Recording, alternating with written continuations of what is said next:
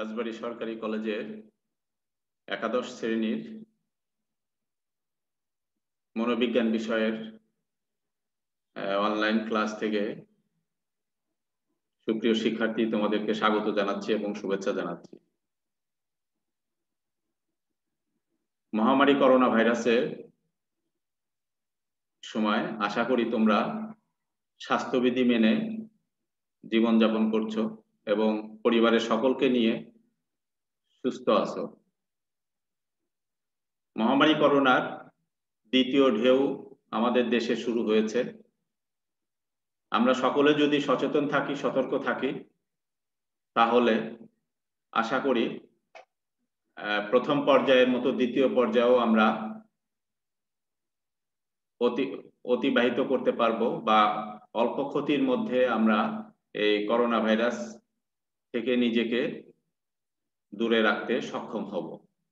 এজন্য ছাত্রছাত্রী, তোমাদের সকলের উদ্দেশ্যে বলছি, তোমরা নিজেরা সতর্ক থাকবে, মাস্ক পরবে এবং স্বাস্থ্যবিধি মেনে চলবে এবং জরুরি প্রয়োজন ছাড়া বাইরে বের হবে না এবং জন ঘন ঘন বেশি লোক যেখানে সমাগম আছে, সেই জায়গাটাকে পরিহার করবে পরিবারকে সুস্থ রাখা এবং সমাজকে সুস্থ রাখার সচেষ্ট হবে, সচেষ্ট থাকবে, সেই প্রত্যাশা মনোবিজ্ঞান একাদশ শ্রেণির রাজবাড়ী সরকারি কলেজে নতুন বিষয় হিসাবে এবার অন্তর্ভুক্ত হয়েছে এবং তোমাদের থেকে এই মনোবিজ্ঞান বিষয়ে আমরা পাঠদান শুরু করেছি। এটা একদম নতুন একটা বিষয়। সকল বিষয়ে স্কুল লেভেল থেকে বা নাইন টেনে তোমরা পড়াশোনা করে আসছো বা কিছুটা ধারণা নিয়ে আসছো।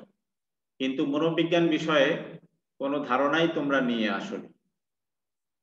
মনোবিজ্ঞান বিষয়টা শুরুই হয়েছে একাদশ শ্রেণি থেকে।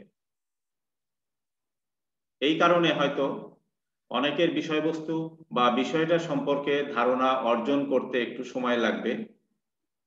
একটু মনোযোগ দিলে বিষয়টা বুঝতে পারবে। মনোবিজ্ঞান বিষয়টা এমন, এটা একটা জীবন ঘনিষ্ঠ বিষয়। অর্থাৎ আমাদের দৈনন্দিন জীবন আমরা যে পরিচালনা করে থাকি, আমাদের দৈনন্দিন জীবনের সাথে এই মনোবিজ্ঞানের যে সম্পর্ক, এটা অত্যন্ত ঘনিষ্ঠ।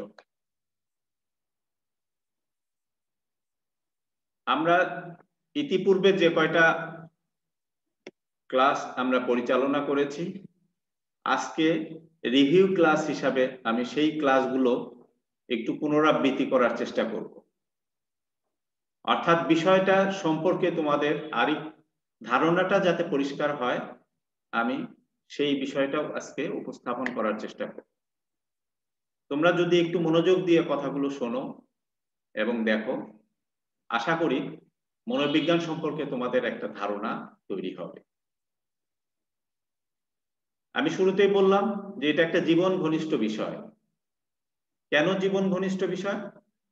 কারণ মনোবিজ্ঞানের যে মূল বিষয়বস্তু বা মনোবিজ্ঞানের যে সংজ্ঞা, সেটাতে কি বলা হচ্ছে? আমরা দেখতে পাচ্ছি যে মনোবিজ্ঞান এর ইংরেজি প্রতিশব্দ হচ্ছে সাইকোলজি সাইকি মন বা আত্মা লগস জ্ঞান বা অধ্যয়ন। অর্থাৎ মন বা আত্মা সম্পর্কে ধারণা লাভ করা, জ্ঞান অর্জন করা বা অধ্যয়ন করা।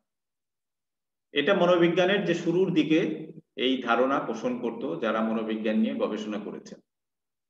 কিন্তু মনোবিজ্ঞানের যে বিষয়বস্তু, সেটা বা মনোবিজ্ঞানের সংজ্ঞা বিভিন্ন সময়ে পরিবর্তিত, পরিবর্তন, পরিবর্ধন হয়ে আধুনিক মনোবিজ্ঞানের যে সংজ্ঞা, আধুনিক মনোবিজ্ঞান সম্পর্কে যে ধারণা মনোবিজ্ঞানীরা পোষণ করে থাকেন বা প্রকাশ করে থাকেন, সেটা হচ্ছে যে মনোবিজ্ঞানকে আচরণ ও মানসিক প্রক্রিয়ার বিজ্ঞানসম্মত অনুধান হিসেবে সংজ্ঞায়িত করা যায়। ক্রাইডার এবং তার সহযোগীরা বলেছেন, মনোবিজ্ঞানের এটা সবচেয়ে আধুনিক সংজ্ঞা। মানুষ এবং প্রাণীর আচরণ এবং মানসিক প্রক্রিয়ার বিজ্ঞানসম্মত অনুধান। শুধু মানুষের না, প্রাণীর আচরণও গবেষণা করা হয়ে থাকে। আচরণ এবং মানসিক প্রক্রিয়া, এই দুইটা বিষয় আমাদের বুঝতে হবে এবং এই দুইটার বিজ্ঞানসম্মত সংজ্ঞায়ন, বিজ্ঞানসম্মত অধ্যয়ন। আচরণ হচ্ছে মানুষ এবং প্রাণীর সমস্ত কার্যকলাপ। আমরা যে কার্য পরিচালনা করে থাকি, আমাদের দৈনন্দিন জীবনে আমরা যে কাজগুলো করে থাকি, সবগুলোই হচ্ছে আচরণ। আর মানসিক প্রক্রিয়া মানসিক প্রক্রিয়া এমনই একটা প্রক্রিয়া যেটা সরাসরি পর্যবেক্ষণ করা যায় না। সরাসরি দেখা যায় না, পরিমাপ করা যায় না সরাসরি। কিন্তু বিজ্ঞানসম্মতভাবে এটাকে পরিমাপ করা যায়। কীভাবে? পরোক্ষভাবে। অর্থাৎ মানসিক প্রক্রিয়াগুলো আমাদের আচরণের মাধ্যমে প্রকাশিত হয় বা প্রতিফলিত হয়। এবং যে আচরণের মাধ্যমে মানসিক প্রক্রিয়াটা প্রতিফলিত হচ্ছে, সেই আচরণ যদি আমরা পরিমাপ করি, তাহলে মানসিক প্রক্রিয়াটাও পরিমাপিত হবে। আমরা প্রথমে আসছি যে আচরণ কি? আচরণ হচ্ছে উদ্দীপক এবং প্রতিক্রিয়া। উদ্দীপকের প্রেক্ষিতে প্রাণী যে প্রতিক্রিয়া করে, সেটাই হচ্ছে আচরণ। আমরা বললাম যে আমাদের সমস্ত কাজকর্ম হচ্ছে আচরণ। এখন আচরণ যার প্রেক্ষিতে সৃষ্টি হচ্ছে, সেটা হচ্ছে উদ্দীপক। আচরণ তৈরি হচ্ছে যার কারণে, সেটা হচ্ছে উদ্দীপক। উদ্দীপক একটা পার্থিব শক্তি, পৃথিবীর একটা শক্তি। অর্থাৎ আলো, বাতাস, গন্ধ, বস্তু, ওজন, এগুলো হচ্ছে উদ্দীপক। এবং এগুলোর প্রেক্ষিতে কিন্তু আমরা আমাদের কার্যকলাপ পরিচালনা করে থাকি। আমরা যে হাঁটতে থাকি, এই হাঁটা একটা আচরণ এবং হাঁটতে গেলে আমাদের অঙ্গ সঞ্চালন হয়ে থাকে এবং এর পিছনে আমাদের কিছু লক্ষ্য থাকে, কিছু উদ্দেশ্য থাকে। সেটা হলো উদ্দীপক। যে উদ্দীপকের প্রেক্ষিতে আমরা হাঁটছি বা আমরা আমাদের হাত পা সঞ্চালিত হচ্ছে, যে প্রক্রিয়ার কারণে সেটা হচ্ছে উদ্দীপক। আমরা বলছি যে একটা পার্থিব শক্তি। যে পরিমাণ শক্তি আমাদের ইন্দ্রিয়কে সচেতন করে, সক্রিয় করে। এই পার্থিব শক্তিগুলো কিন্তু আমাদের ভিতরে প্রবেশ করে আমাদের ইন্দ্রিয়ের মাধ্যমে। আমাদের ইন্দ্রিয় হচ্ছে পাঁচটা। চক্ষু, কর্ণ, নাসিকা জিব্বা ত্বক। এই পাঁচটা ইন্দ্রিয়ের মাধ্যমে পৃথিবীতে যা কিছুর অস্তিত্ব আছে, আমরা সেগুলোকে গ্রহণ করে থাকি। সেগুলো সম্পর্কে আমরা ধারণা লাভ করে থাকি। সেগুলো সম্পর্কে আমরা জ্ঞান অর্জন করে থাকি। এটাই হচ্ছে উদ্দীপক। আলো একটা উদ্দীপক। একটা ঘরের মধ্যে যদি আলো একদম বন্ধ করে দেওয়া হয় তাহলে সেই ঘরের ভিতরকার একটা ঘড়ি, একটা ফ্যান এগুলো কিন্তু আমরা দেখতে পাই না। তাহলে আমরা দেখি কিসের সাহায্যে? আলোর সাহায্যে। আলো একটা উদ্দীপক, এটা আমাদের ভিতরে প্রবেশ করে চোখের মাধ্যমে, যার পরিপ্রেক্ষিতে আমরা দেখতে পাই। আমাদের দেখাটা হচ্ছে একটা আচরণ, এবং সেটা এই আলোর কারণে কিন্তু আমরা দেখতে পাচ্ছি। আলোটা হচ্ছে উদ্দীপক। আলো নিভিয়ে দিলে কিন্তু আমরা দেখতে পাই না। বস্তুটা কিন্তু ওখানেই থাকে। ঘরের মধ্যে কিন্তু ফ্যান আছে, রুমের মধ্যে কিন্তু আমরা দেখতে পাচ্ছি না। কারণ আমার চোখ দিয়ে তখন আলো প্রবেশ করছে না। দেখার কারণটা হচ্ছে আলো। সেজন্য উদ্দীপকের প্রেক্ষিতে আমরা যে প্রতিক্রিয়া করে থাকি, সেটাই হচ্ছে আচরণ। যেটা এক কথায় আমরা বললাম যে আমাদের সমস্ত কার্যকলাপই হচ্ছে আচরণ। আর মানসিক প্রক্রিয়া কোনগুলো? যেগুলো সরাসরি পর্যবেক্ষণ করা যায় না। কিন্তু আমাদের উদ্দীপক এবং প্রতিক্রিয়ার মধ্যে কার্যকারণ সম্পর্ক বিদ্যমান। শিক্ষণ, স্মৃতি বিস্মৃতি বুদ্ধি, এগুলো হচ্ছে সংবেদন, প্রত্যক্ষণ। এগুলো কোনোটাই কিন্তু দেখা যায় না, সরাসরি পর্যবেক্ষণ করা যায় না। এগুলোকে বলা হচ্ছে মানসিক প্রক্রিয়া। কিন্তু এগুলো পর্যবেক্ষণ করা যায়, পরিমাপ করা যায় বিজ্ঞানসম্মতভাবে। কীভাবে? স্মৃতি বিস্মৃতির কথা ধরি। স্মৃতি এবং বিস্মৃতি, এটা আমরা বুঝতে পারি, আমরা জানতে পারি, আমরা পর্যবেক্ষণ করতে পারি, কিন্তু সরাসরি নয়। অর্থাৎ একটা বিষয়বস্তু, আমার স্মৃতিতে আছে কি নাই সেটা আমরা কখন বুঝতে পারব? আমার সামনে যদি সেই বিষয়টা সম্পর্কে উপস্থাপন করা হয়, কোনো প্রশ্ন করা হয়, তাহলে আমি যে প্রতিক্রিয়া ব্যক্ত করব, আমি যে উত্তর দিব, তার প্রেক্ষিতে বলা যাবে যে আমার মেমোরিতে সেটা আছে অথবা নেই। আমরা যদি মনোবিজ্ঞানের সংজ্ঞার কথা বলি, যে এটা আমার স্মৃতিতে আছে কিনা তোমাদের স্মৃতিতে মনোবিজ্ঞানের সংজ্ঞা আছে কিনা? এটা যদি আমাকে বুঝতে হয়, আমি তোমাদের চেহারা দেখে বুঝতে পারব না যে তোমাদের স্মৃতিতে এটা আছে কিনা। তোমরা এটা শিখছো কিনা? এটা কীভাবে বুঝতে পারব? তোমাদেরকে যদি প্রশ্ন করি যে বলো, মনোবিজ্ঞানের সংজ্ঞাটা কি?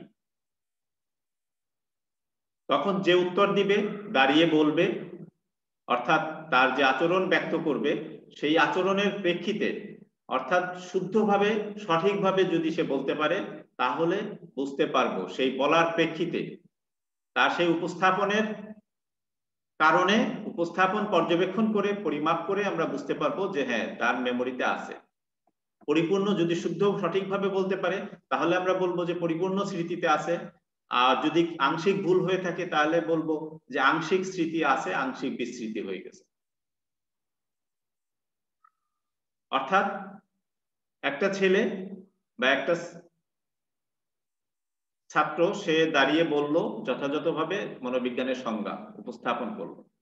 আর একজন তার পাশে বসে আছে, সে বলতে পারছে না।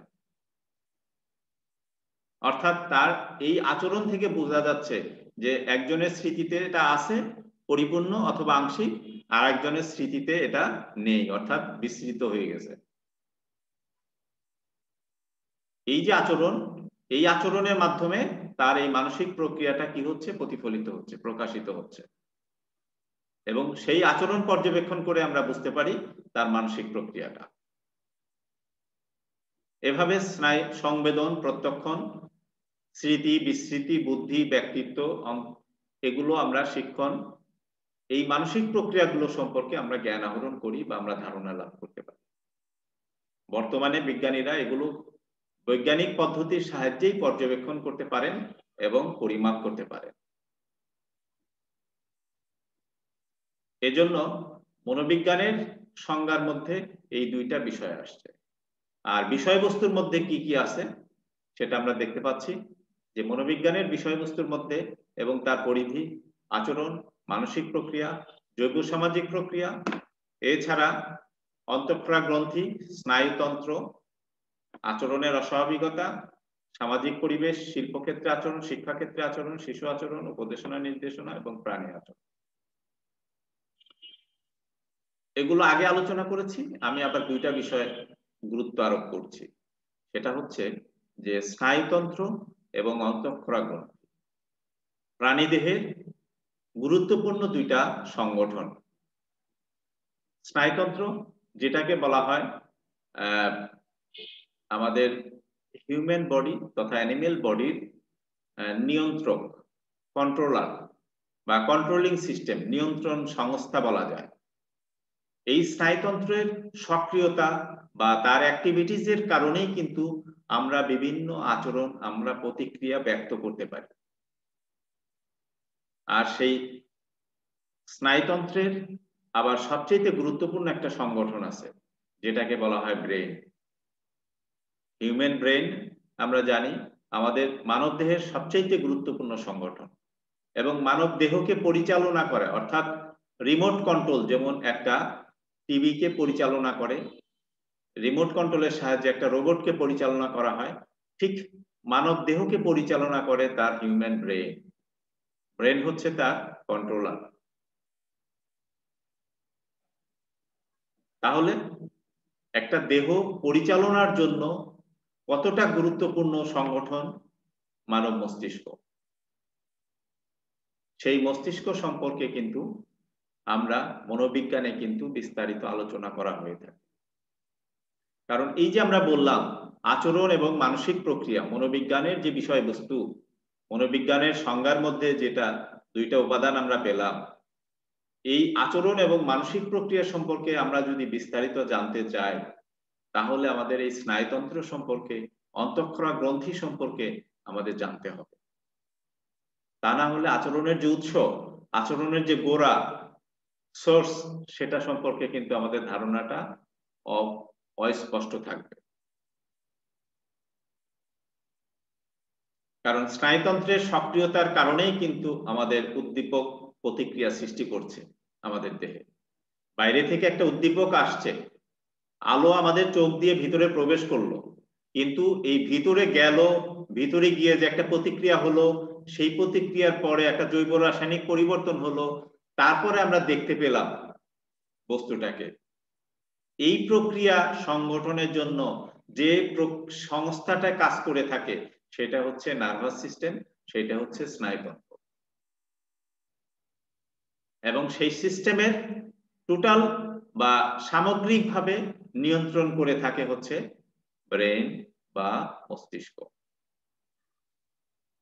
অন্তঃক্রা গ্রন্থি অর্থাৎ আমাদের শরীরের অভ্যন্তরে কতগুলো গ্ল্যান্ড আছে, গ্রন্থি আছে, যে গ্রন্থিগুলোর সাথে কোনো নালীর সংযোগ নেই। আমাদের অন্ত্র আছে, পাকস্থলী আছে, আমাদের কিডনি আছে, আমাদের যকৃত আছে, এগুলো গ্রন্থি। এগুলোর সাথে নালীর যুক্ত আছে। নালীর মাধ্যমে এগুলো থেকে যে তথ্য, সেগুলো নালীর মাধ্যমে শরীরের বিভিন্ন জায়গায় সঞ্চালিত হয়ে থাকে। কিন্তু অন্তঃক্ষরা গ্রন্থি বলা হয় সেগুলোকে, যেগুলোর সাথে কোনো নালীর সংযুক্ত নাই। যেগুলো থেকে এক ধরনের তরল নিঃসরণ হয়ে সরাসরি রক্তের সাথে মিশে যায়। এবং মিশে গিয়ে আমাদের শারীরিক গড়ন এবং আমাদের আচরণগত যে পরিবর্তন, সেগুলো বা পরিবর্তন সেগুলোতে গুরুত্বপূর্ণ ভূমিকা পালন করে থাকে। এজন্য মনোবিজ্ঞানের মূল বিষয়বস্তু সম্পর্কে আমরা যদি তার উৎসগুলো জানতে চাই বা ধারণাটা পরিষ্কার করতে চাই, তাহলে আমাদের স্নায়ুতন্ত্র এবং অন্তঃক্ষরা গ্রন্থি এই দুইটা সম্পর্কে আমাদের জানতে হবে। এবং এই দুইটা জানলে কিন্তু আমরা বুঝতে পারব যে কেন আমরা দেখি, কীভাবে আমরা শুনি, কীভাবে আমরা ওজন বুঝতে পারি বা শীত উষ্ণতা কীভাবে আমরা বুঝতে পারি? অর্থাৎ পার্থিব উদ্দীপক সম্পর্কে আমাদের যে সংবেদন হচ্ছে, যে প্রত্যর্পণ হচ্ছে, আমরা যে শিক্ষণ লাভ করছি, আমরা যে স্মৃতি বিস্মৃতি যাচাই করছি এই সবকিছুর যে উৎস, সবকিছুর যে প্রক্রিয়াটা, সিস্টেমটা, কোন সিস্টেমে আমাদের এই স্মৃতি সংগঠিত হচ্ছে? কোন সিস্টেমে আমরা স্মৃতিটাকে আবার পরীক্ষা করছি? সেই প্রক্রিয়াটা সম্পর্কে কিন্তু আমরা বিস্তারিত জানতে পারব। যদি আমরা স্নায়ুতন্ত্র সম্পর্কে ধারণা লাভ করতে পারি, আমরা অন্তঃক্ষরা গ্রন্থি সম্পর্কে ধারণা লাভ করতে পারি। সুপ্রিয় শিক্ষার্থী, মনোবিজ্ঞান, জীবন ঘনিষ্ঠ বিষয় আমি আগে বললাম। জীবন ঘনিষ্ঠ বিষয় কেন? কারণ আমাদের দৈনন্দিন জীবনে আমরা যে কাজগুলো করে থাকি, সেটা নিয়ে মনোবিজ্ঞান আলোচনা করে থাকি। আমরা আচরণের কথা বললাম। আচরণ মানে কি? আমাদের দৈনন্দিন জীবনে আমরা যে কাজগুলো করি সেগুলোই আচরণ। এখন সেই কাজগুলো কীভাবে আমরা করছি, সেটা কীভাবে সংগঠিত হচ্ছে, আমাদের শরীরের অভ্যন্তরে কীভাবে সেটা ঢুকছে, কীভাবে আমরা বের হচ্ছে, সেটার আউটপুট হচ্ছে, এই বিষয়গুলো জানার জন্য মনোবিজ্ঞান অধ্যয়ন করতে হবে। আমি বললাম যে কীভাবে আমরা দেখছি, কীভাবে আমরা শুনছি, কীভাবে আমরা স্বাদ পাচ্ছি, কীভাবে আমরা শীত উষ্ণতা, ব্যথা, এই অনুভবগুলো, অনুভূতিগুলো আমাদের তৈরি হচ্ছে, এগুলো বিস্তারিত জানার জন্য আমাদের এই মনোবিজ্ঞান জানতে হবে। সেজন্য বললাম যে মনোবিজ্ঞান জীবন ঘনিষ্ঠ বিষয়। এছাড়াও আর একটা গুরুত্বপূর্ণ দিক আছে, সেটা হচ্ছে যে মানসিক প্রক্রিয়াগুলো। মনোবিজ্ঞানের একটা কগনিটিভ দিক আছে, জ্ঞানীয় প্রক্রিয়াটা আছে। শুধু শারীরবৃত্তীয় প্রক্রিয়া নিয়ে মনোবিজ্ঞান আলোচনা করে না এর জ্ঞানীয় প্রক্রিয়া নিয়েও আলোচনা করে থাকে। যে কারণে আমাদের দৈনন্দিন জীবনে আমাদের যে মানসিক অসঙ্গতিগুলো, আমাদের যে মানসিক অসুস্থতা, সেটাও কিন্তু মনোবিজ্ঞান আলোচনা করে থাকে। আমরা মনোবিজ্ঞানের বিভিন্ন শাখা নিয়ে আলোচনা করেছি। সেই শাখার মধ্যে আমি গুরুত্বপূর্ণ দু একটা শাখা সম্পর্কে বলব যাতে জীবন ঘনিষ্ঠ যে বিষয়, সেটা বোঝা যাবে। চিকিৎসা মনোবিজ্ঞান। চিকিৎসা মনোবিজ্ঞান, অস্বাভাবিক মনোবিজ্ঞান, কাছাকাছি দুইটা। এটার কাজ কি? আমরা জানি যে আমাদের শারীরিক অসুস্থতা আছে, ঠিক একইভাবে আমাদের কিন্তু মানসিক অসুস্থতাও আছে। শারীরিক অসুস্থ, শারীরিকভাবে যদি আমরা অসুস্থ হই, তাহলে আমরা ফিজিক্যাল ডাক্তারের কাছে যেয়ে থাকি। সাধারণ ডাক্তারের কাছে আমরা যাই। কিন্তু মানসিকভাবে যদি আমরা অসুস্থ হই তাহলে আমরা কিন্তু মানসিক ডাক্তারের কাছে যাই। যাওয়া উচিত বা আমরা যেয়ে থাকি। এখন মানসিক অসুস্থতাগুলো কি? মানসিক অসঙ্গতিগুলো কোনগুলো? সেগুলো আগে জানতে হবে, সেগুলো শনাক্ত করতে হবে। আমাদের সমাজে এখনও এই বিষয়গুলো সম্পর্কে আমরা সচেতন না।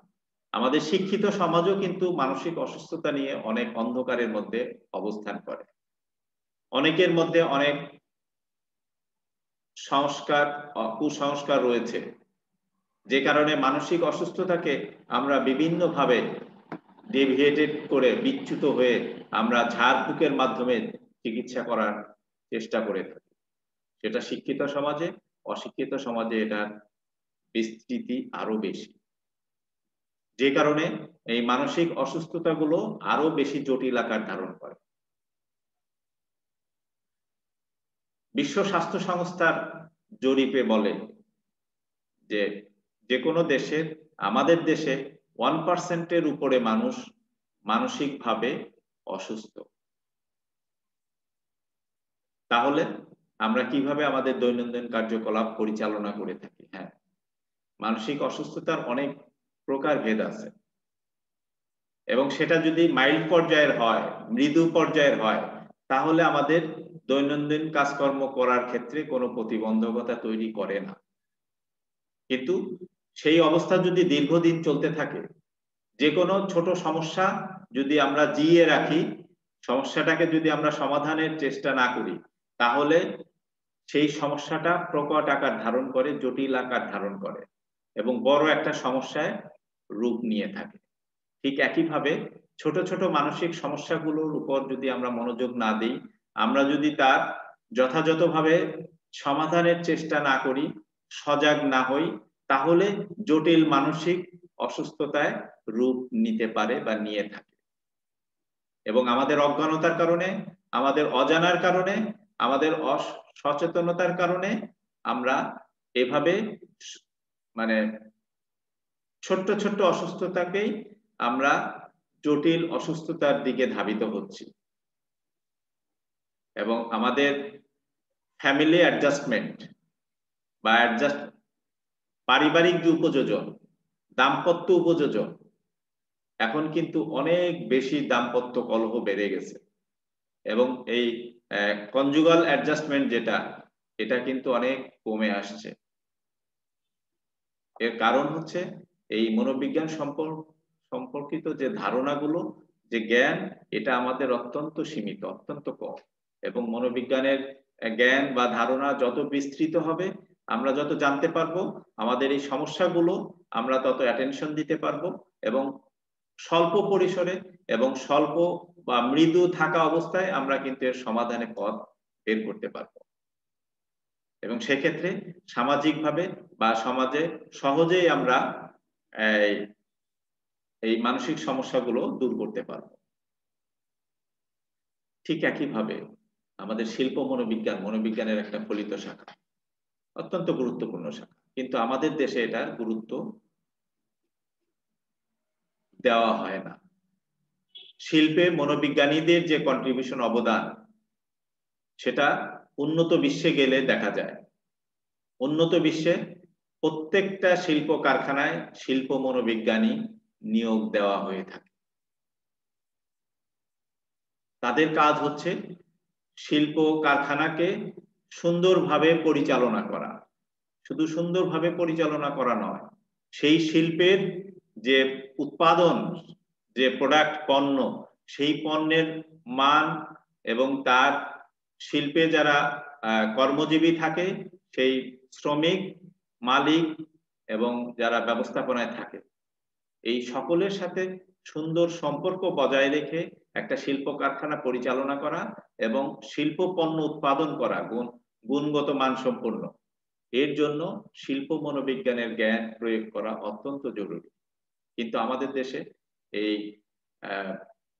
জনবহুল যে শিল্পগুলো, বিশেষ করে গার্মেন্টস শিল্প, এখানে এই শিল্প মনোবিজ্ঞান সম্পর্কিত কোনো ধারণাই সেখানে প্রয়োগ করা হয় না।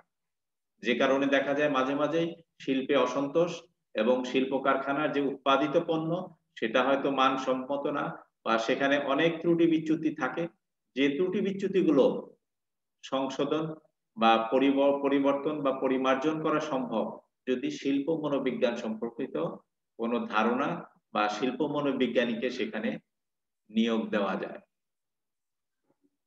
এভাবে মনোবিজ্ঞানের যে শাখাগুলো আছে, বিশেষ করে ফলিত শাখা ফলিত প্রত্যেকটা শাখাই কিন্তু বাস্তবে কার্যকরীভাবে প্রয়োগ করা যায় এবং যদি কার্যকরীভাবে প্রয়োগ করা হয়ে থাকে, তাহলে আমাদের সমাজে সামাজিকভাবে যেমন আমরা অত্যন্ত ভারসাম্যপূর্ণভাবে আমাদের বিকশিত হবে সমাজ, ঠিক একইভাবে আমাদের যে উৎপাদন বা আমাদের যে সমাজের যে উন্নয়ন, সেটাও কিন্তু ভারসাম্যপূর্ণভাবে উন্নয়ন সাধিত হবে। সমাজের যে বিশৃঙ্খলা, সমাজের যে সন্ত্রাস, সমাজের যে অনৈতিক কার্যকলাপ, এ সকল বিষয় কিন্তু দূরীভূত করা সম্ভব। যদি আমরা এই মনোবিজ্ঞানের যে ধারণাগুলো, মনোবিজ্ঞানের যে জ্ঞানগুলো, সেটাগুলো যদি আমরা বাস্তবে প্রয়োগ করতে পারি বা কার্যকরী করতে পারি। আমাদের দেশ যত উন্নত হবে, মনোবিজ্ঞান সম্পর্কিত ধারণা বা জ্ঞান তত প্রয়োগ করা হবে। বর্তমানে, বর্তমান সরকার এটা গুরুত্ব অনুধাবন করেছেন যে কারণে বলেছেন যে প্রত্যেকটা শিক্ষা প্রতিষ্ঠানে একজন করে শিক্ষা মনোবিজ্ঞানী প্রয়োগ বা শিশু মনোবিজ্ঞানী স্কুলগুলোতে নিয়োগ দেওয়ার জন্য তিনি বলেছেন।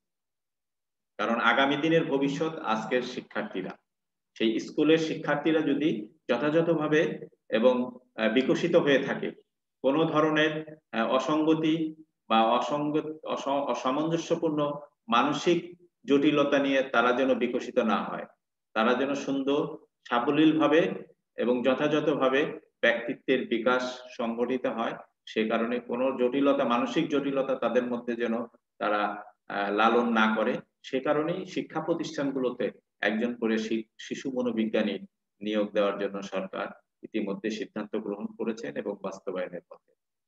এবং সেটা যদি বাস্তবে কার্যকরী হয়, আমরা আশা রাখব যে মনোবিজ্ঞানের যে প্রসার, সেটা আরও বিস্তৃত হবে।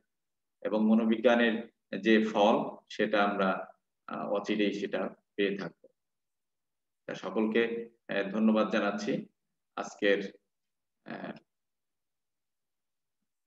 ক্লাস এখানে শেষ করছি। সকলে ভালো থাকবে এবং স্বাস্থ্যবিধি মেনে চলবে। নিজের পরিবারকে করোনা মুক্ত রাখবে এবং সমাজকে করোনা মুক্ত রাখবে। সকলকে ধন্যবাদ।